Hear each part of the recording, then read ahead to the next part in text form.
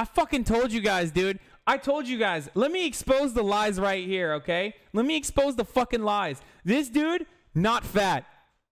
This entire time, this entire time, he's been, this entire time, he's been portraying a man who is much fatter than he actually is in real life. As a matter of fact, as someone who also used to be very fat in the past, let me tell you something, okay? This is stolen valor.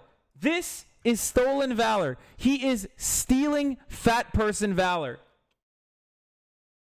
I'm sick and tired of it. I'm sick and tired of people going around losing weight and then acting like they're still fat.